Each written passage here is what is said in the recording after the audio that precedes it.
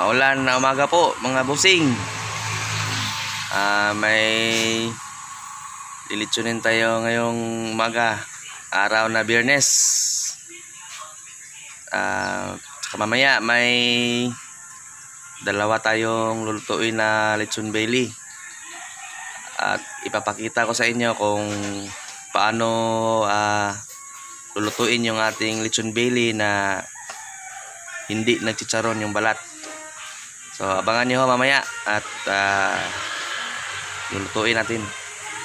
At luto na ngayon yung ating lechon. So, ipapak na natin to para ma-deliver na. Ito na po.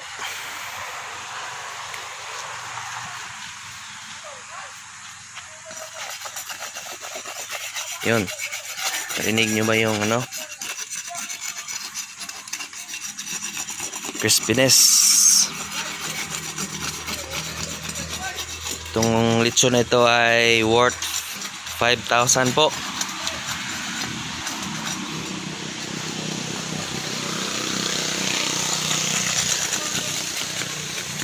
Shout out nga pala sa homeowner nito.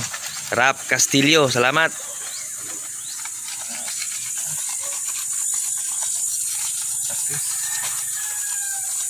Ayan. So,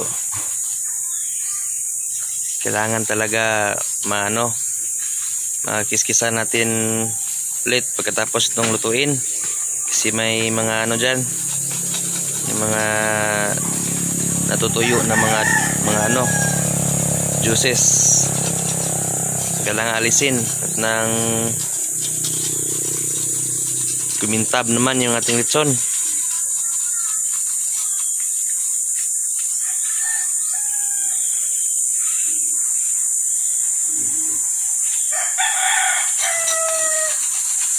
Yan.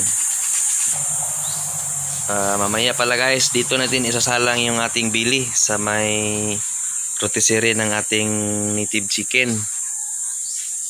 Kasi yung sa dito natin eh pakaingay. Hindi pa hindi pa kami nakahanap ng wiper at nang mapalitan na ito.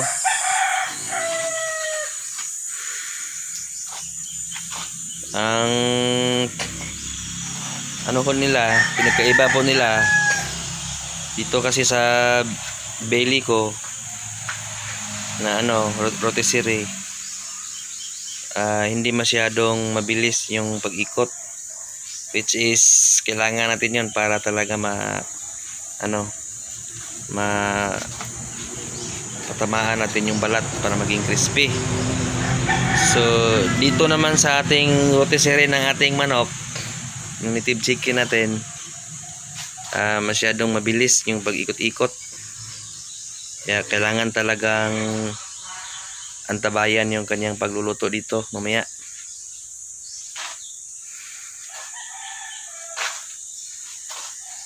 So okay na. Yung lechon natin ay atin ang ibabalot. So ito na mga boss Madala yan. Ah, sarap naman nun.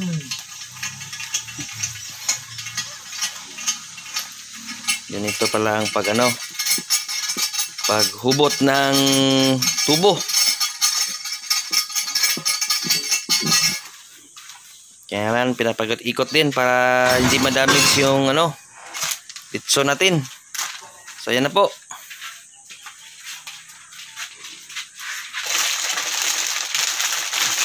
Yan, dapat may plastic sa ilalim kasi para hindi maano hindi mabasa yung ating Manila paper saka yung karton sa lalim. So, okay na. Bye. Open. Ganito lang ka simple magbalot ng lechon, guys.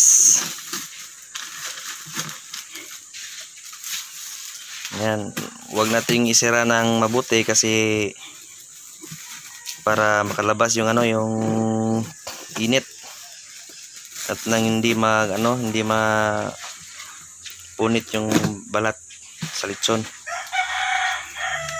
So, i-deliver na to ni Irois sa ating regular na customer na foreigner, Mr. Rap Castillo.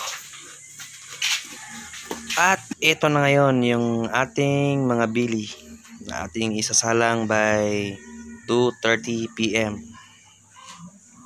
Dito tayo magsasalang sa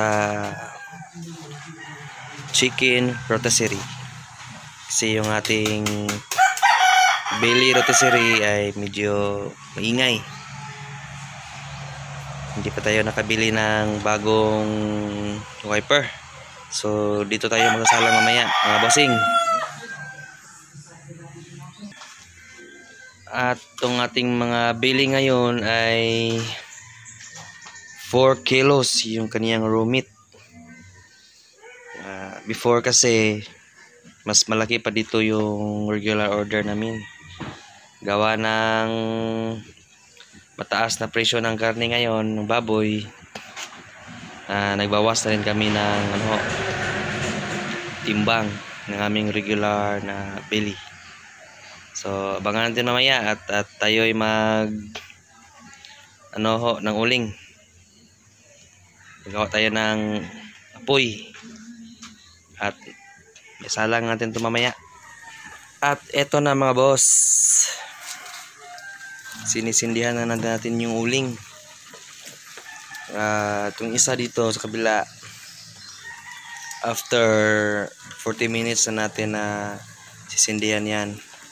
Kasi ahead ng almost 1 hour yung pagkasalang natin sa dalawang bili. So hintayin lang natin na mag-iinit talaga itong uling na to bago natin isalang ang ating lechon belly. Kung mapapansin nyo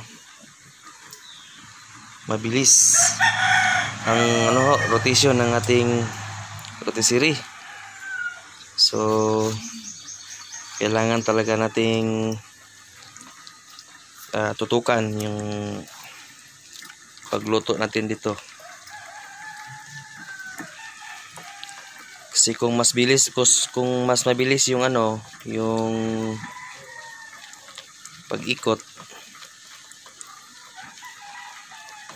hindi masyadong naiinitan yung skin ng ating bili. Kaya mahirapan tayo ditong magpula agad. Dapat talaga may taong magbabantay tapos ah, i-maintain yung init para makuha natin yung crispiness ng ating lechon belly. Yan mga boss. Galit na galit na yung ating uling. Nagbabaga na. So, ayusin muna natin to. Ah, ilalatag natin ng maayos. So, ganito po ang forma ng ating baga. Hindi po natin na ididikit sa bili para hindi masunog agad. So ganyan po. Ah, distansya lang po ng mga 3 inches yung ating apoy sa ating bili. Ah, para hindi ito masusunog agad hintayin lang natin na pupula siya bago natin ilapit ng konti yung ating uling. Dito naman sa kabila ay hindi pa natin na sinisindihan. After 30 minutes sindihan na natin yan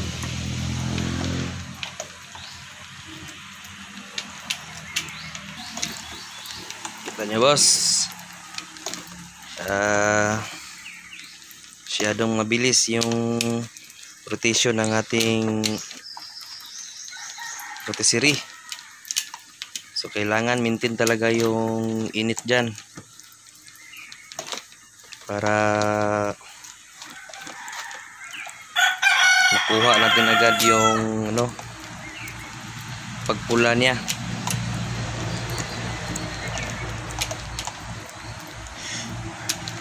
at sa pagbibili natin iniiwasan din natin na may tumagas dyan na ano juices galing sa loob.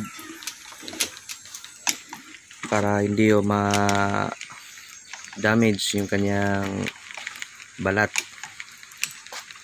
Kung sakali naman ay may lalabas na tubig dyan sigurado po na yung dadaanan ng tubig na yon hindi na magkikrispy yun. So may technique din kami dyan kung paano tahiin yung ating belly na hindi tatagas yung sabaw. Kung mapapansin nyo po wala kayong kitang ano dyan sabaw na tumatagas. Maliban na lang po sa ano sa tigdudulo niya. Kasi kasi open yan may tahi ngunit open yung ano yan yung sa ano dulo. Mas mabuti kung dyan dadaan yung tubig kesa dito na part dyan. Talagang masisira ang ating balat dyan.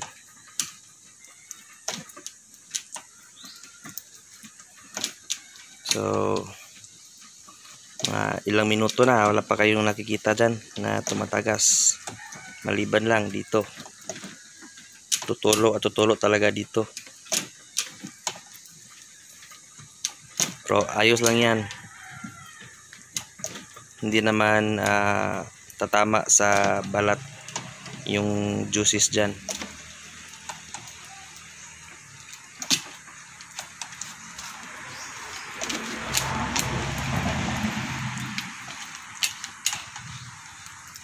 siguro mga 15 to 20 minutes. Ah, mag start na itong magpula.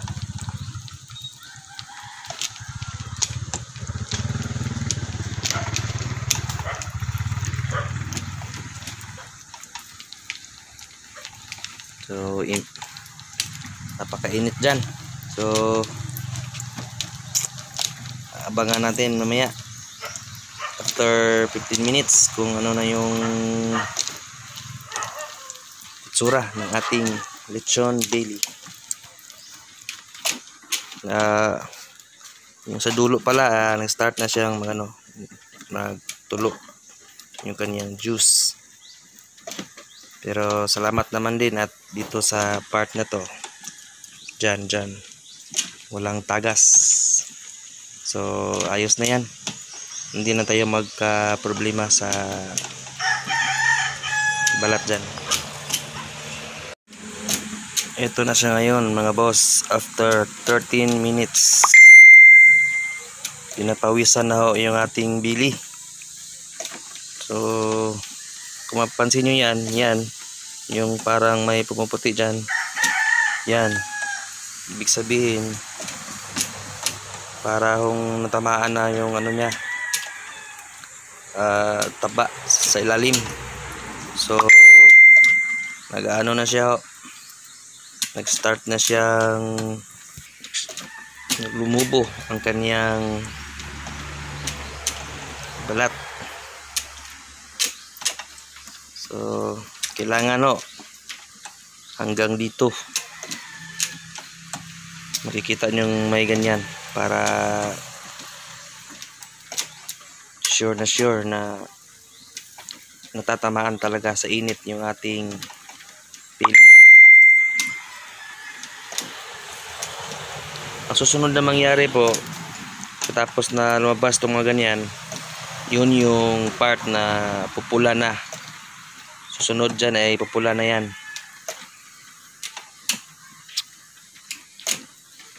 So mainit na mainit ngayon yung ating apoy so hindi pa natin muna i, ano, ilapit ng masyado yung baga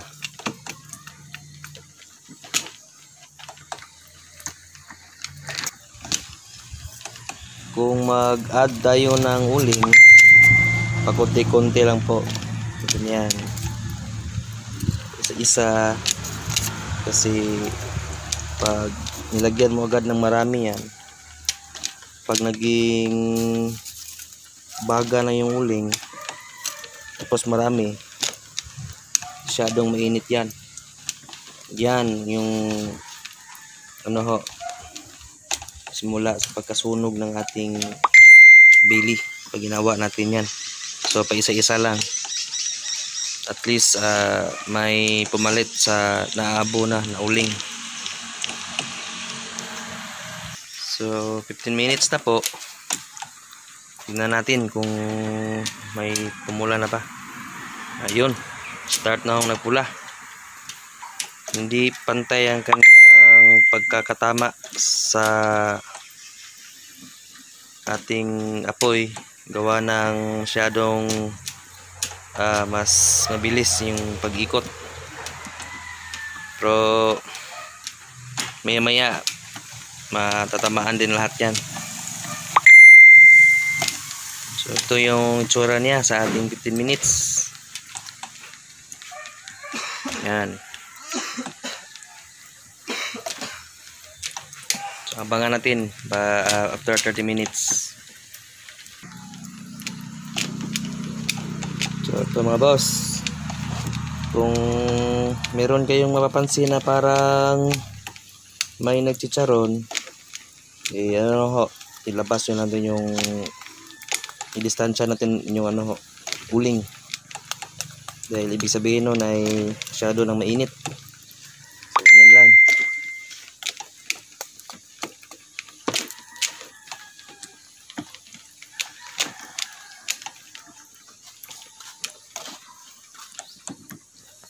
So yan, yung sinasabi ko sa inyo na parang nagputi-puti yan.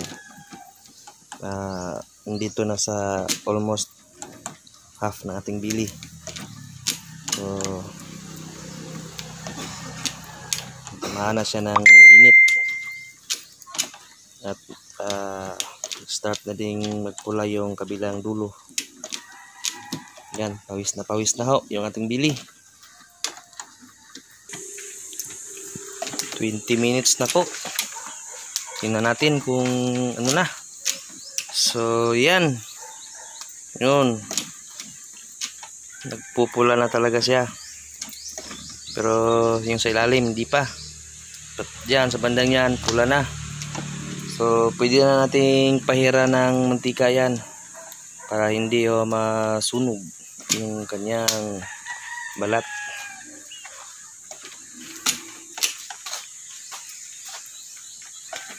Yan. Sisikapin nating hindi ito mag ano ho, magchicharon. Kasi pag nagchicharon talaga, pagkalamig ng bili diyan, hindi na crispy yan.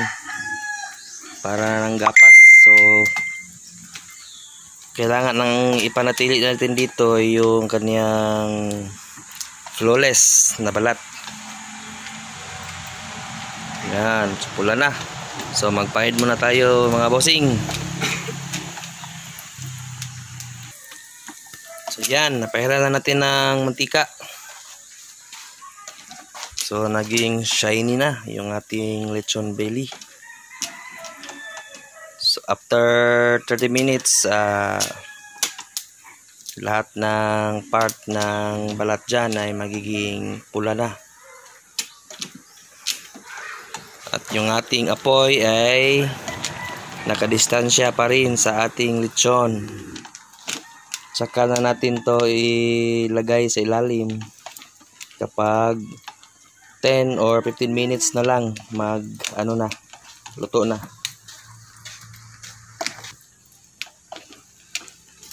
Mag-add muna tayo ng mga uling.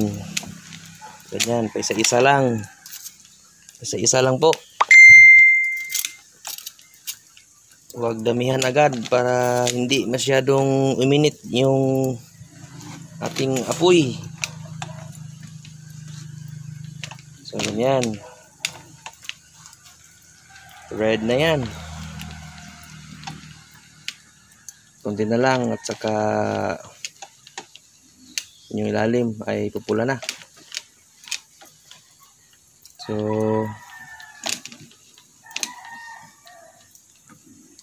wala pa rin kayong nakikitang nagchicharon sa ating lechon bili. Para sa nais magluto ng lechon bili na ganito ka flawless.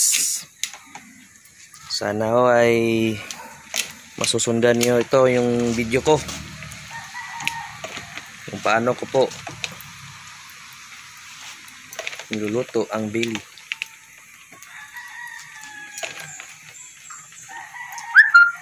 Resulta ho nito ay parang niluto ho sa ubin.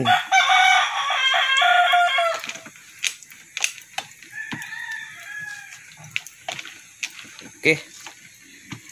So, mainit na mainit na yung aking cellphone. So, mamaya na lang po. Yung other minutes. At mga boss, nasa 30 minutes na po yung pagkasalang sa ating lechon belly.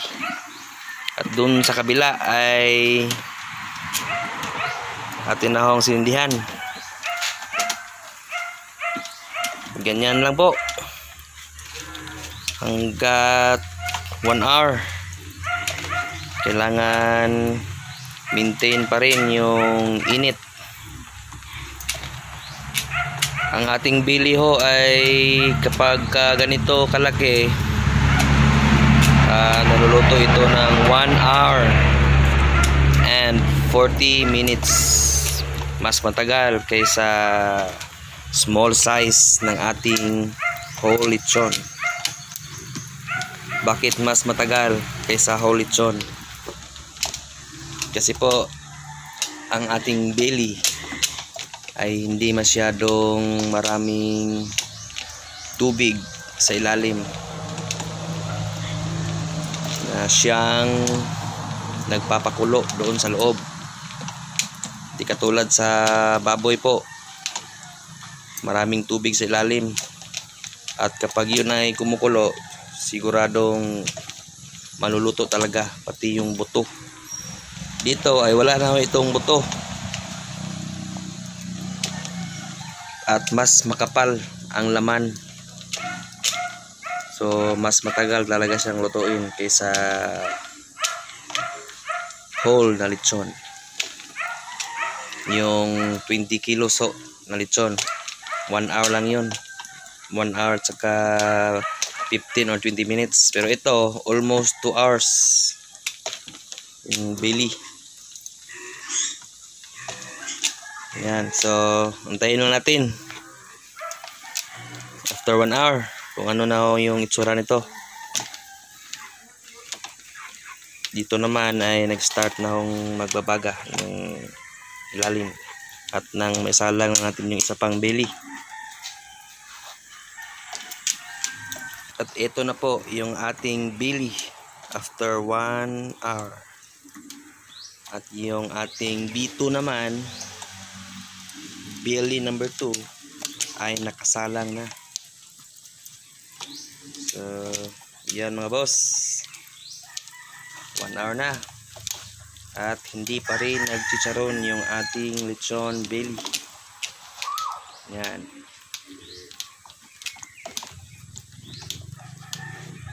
Distansya pa rin po yung kanyang uling. Hindi pa natin uh, inilagay sa lalim.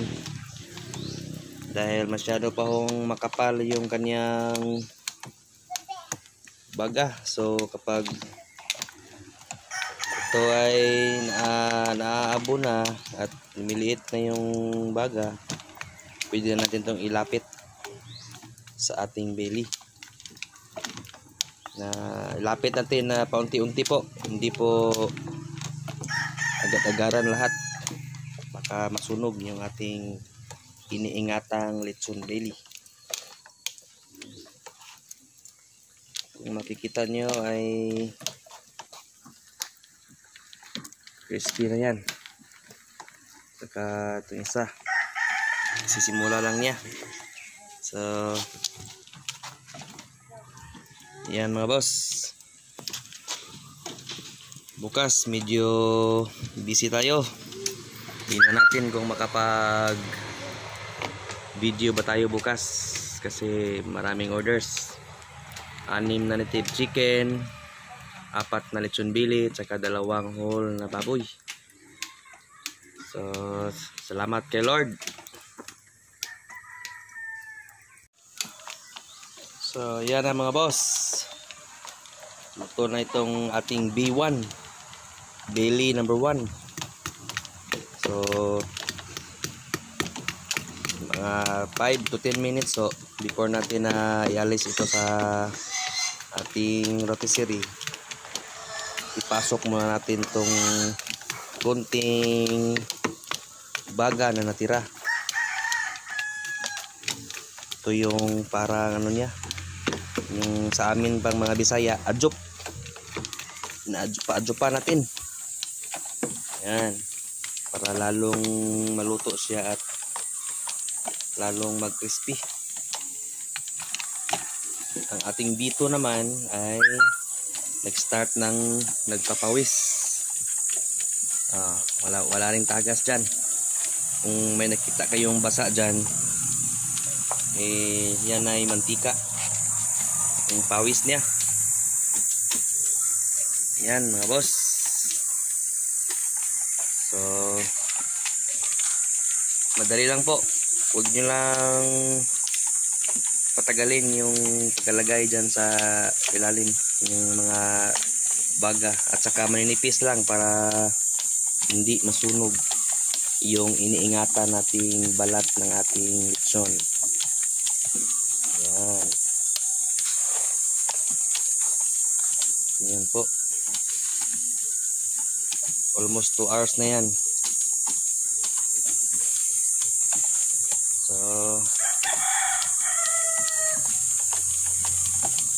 5 minutes or 10 atin na ang aalisin yung bili na yan. Sa apoy.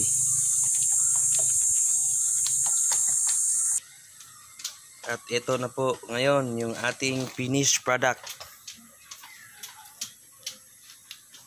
Shiny po. Para Okay po, at tayo'y magbabalot na ng ating lechon bili para ma-pick up na po ng ating customer. So ayan. Nasa box na po yung ating lechon belly. At ang isa naman ay gumugulong-gulong pa rin.